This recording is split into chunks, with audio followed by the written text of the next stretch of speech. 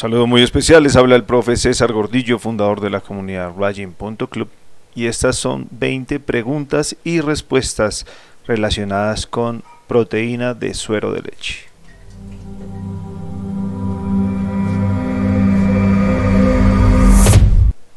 Suscríbete a nuestro canal y visita nuestra página corporativa www.raging.club. Volvemos al estudio y vamos a responder cada una de estas preguntas. Primero, ¿qué es la proteína de suero de leche? Es un suplemento alimenticio que se genera a partir del proceso de la fabricación de la leche. Eso es, es un suplemento. Tengamos en cuenta que se utiliza en diferentes campos también en, con el enfoque clínico o médico. ¿Para qué sirve? Sirve para complementar los requerimientos de proteína de una persona. Cualquier persona necesita proteína como macronutriente principal para regenerar sus tejidos. La proteína es mm, un macronutriente constructor, nos permite reconstruir nuestras células, no solo las musculares, sino las de todo nuestro organismo. Es por eso que es tan importante y necesaria. En el tercer punto, ¿es necesaria la proteína de suero de leche? No es necesaria. Se puede cumplir con fuentes de alimentos únicamente. Lo que pasa es que es más práctica de utilizar, tiene una calidad y un nivel eh, biológico muy bueno, impresionante, eh, es cómodo, pero no es necesaria ni obligatoria para ganar masa muscular, ni para estar en el gimnasio, ni para hacer deporte. Sirve para aumentar la masa muscular. Solamente el suplemento no va a ayudar. Va a contribuir en cuanto que tiene aminoácidos de altísima calidad. Eh, su nivel biológico, como decíamos, es muy alto y contribuye. Pero por sí solo nunca nunca va a hacer que una persona gane masa muscular. Es un complemento a la nutrición. Por eso está mal preguntar qué proteína es mejor para ganar masa muscular, porque ninguna por sí sola lo va a hacer. Bueno, tomar con agua o con leche. Esto depende. Con agua vamos a tener una asimilación más rápida de la proteína, ¿sí? Y con leche quizás alguna persona que quiera aumentar las calorías y aumentar la proteína de ese batido. Y que obviamente la persona que lo que la combine con leche tolere la leche. ¿Vale? Eso va a depender de la persona, de las características de la persona. Si estás buscando oxidar grasa, si estás buscando un proceso de definición, lo más común sería con agua. Si estás buscando aumentar, mantener, eh, potenciar este suplemento, podrías hacerlo con leche. ¿En qué momento del día tomarlo? Bueno, se puede tomar, por ejemplo, en la media mañana en la media tarde, con el propósito de complementar la proteína diaria. Recuerda que necesitas, para dar un ejemplo, necesitas un 100% de proteína al día. Vamos a hablar de, de un porcentaje máximo. ¿sí? y el batido te va a otorgar un 15, un 20%. Lo puedes tomar en la media mañana, en la media tarde, cuando es más difícil conseguir proteína. Porque ya en el desayuno comimos, por ejemplo, huevo. Ya la media mañana nos queda un poco más difícil. Podríamos tomar leche, yogur, quesos. Pero un batido es mucho más funcional y práctico para quienes están en el trabajo o en otro lugar. ¿Cuándo se debe consumir? ¿Antes o después del entrenamiento? Digamos que antes del entrenamiento nos ayuda a cumplir nuestros requerimientos, pero después del entrenamiento, en una cantidad de 20, 25 gramos, sería óptimo para la recuperación. Le recomendaría que no fuera solo la proteína, por ejemplo, hidrolizada, sino que esté acompañada algunos gramos de carbohidratos para una mayor absorción y para que se recargue y se recupere primero el glucógeno muscular.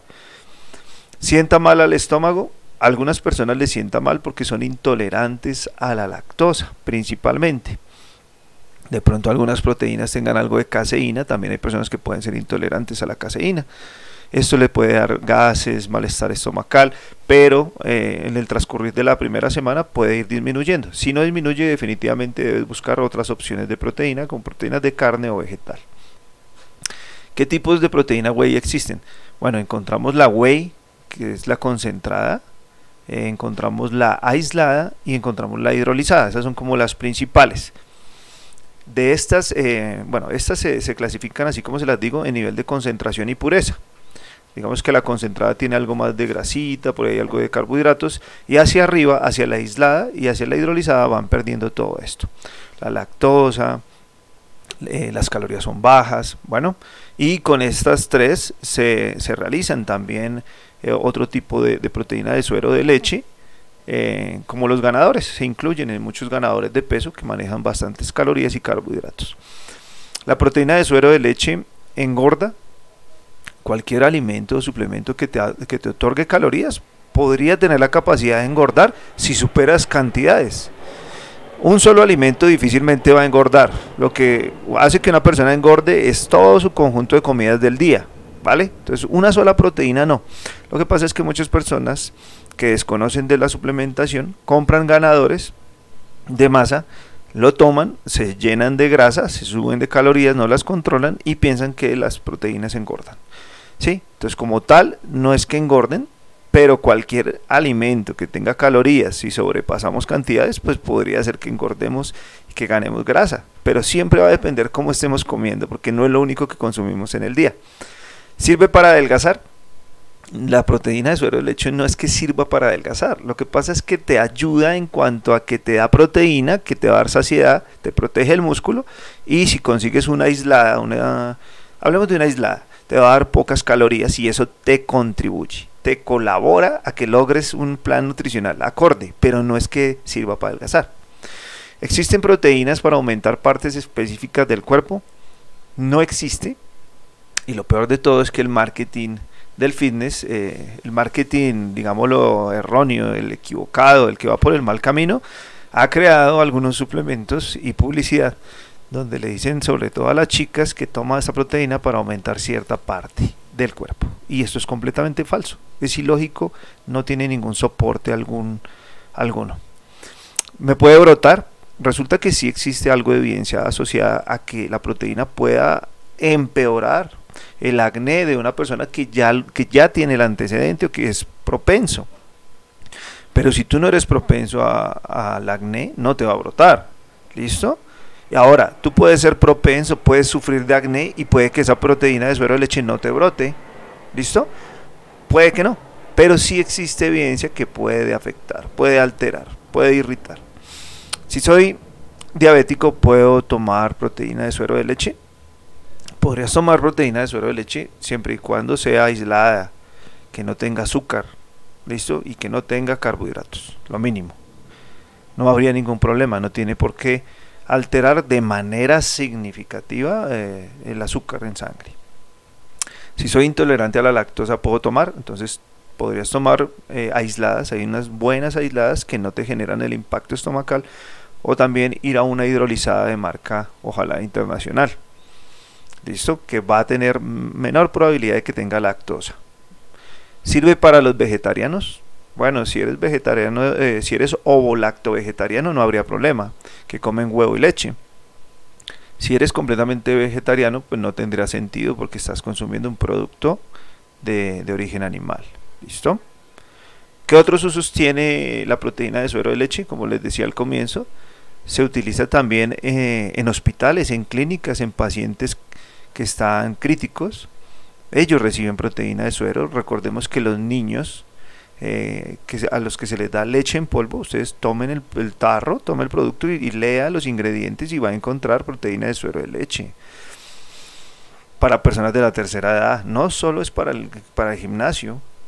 ¿Listo? pasa es que el gimnasio está satanizado, sobre todo en el uso de suplementos, porque lo asocian a otras sustancias. ¿Se puede combinar con creatina? Claro que sí. Muchos preguntan que si se puede combinar con otros suplementos. Claro que sí, se puede combinar, no hay ningún problema.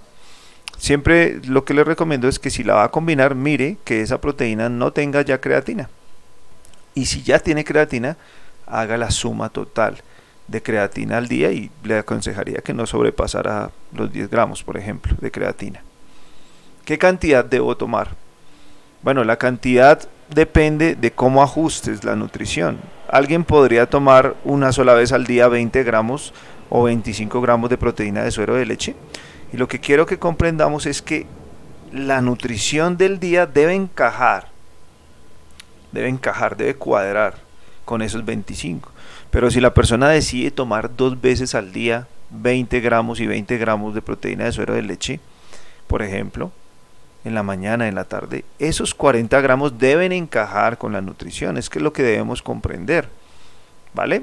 Yo diría que de 20 a 25 gramos es óptimo y no más de dos veces al día. No podemos depender de un porcentaje tan grande eh, del, del suplemento en ese aporte proteico. Y por último, ¿puedo dejar de tomarla? Claro que sí, tú puedes dejar de tomar la proteína. Lo que pasa es que si te estás suplementando, como les decía anteriormente, si estás suplementándote con dos servicios de 25 y 25, estás teniendo 25 gramos de proteína. Entonces, si vas a dejar de tomar el suplemento, debes incrementar la fuente de proteína en los alimentos. Entonces ya tendrías que cambiar por pechuga, por carne, por pescado, por huevo, por leche y por otras fuentes de proteína. Recordemos que acá estamos hablando eh, del macronutriente de la proteína y nos centramos especialmente en la proteína animal, ¿no? Pero pues también tenemos el componente vegetal que nos da ciertas proteínas necesarias para, para, una, para una dieta, un plan nutricional saludable. Bueno, dejen sus comentarios. Si tienen alguna duda, alguna inquietud relacionada con estas 20 preguntas sobre proteína de suero leche, dejen su mensaje. En la parte inferior toda la información relacionada con Raging.club, página corporativa www.raging.club, allí todos los servicios de asesoría en nutrición, suplementación, entrenamiento. Abajito también está la posibilidad de descargar el libro a los que, los que les guste el estudio, aprender, formarse. Ahí hay un curso que me gustaría que hicieran de nutrición, si son suscriptores, obviamente. Y por último, recuerden la posibilidad de emprender con nosotros en suplementación eh, deportiva, emprender distribuyendo suplementación de, de marca Megaplex, TNT, eh, creatinas de diferentes marcas y la marca Nutrilite. Nos vemos en la próxima. Suscríbete a nuestro canal y visita nuestra página corporativa www.raging.club.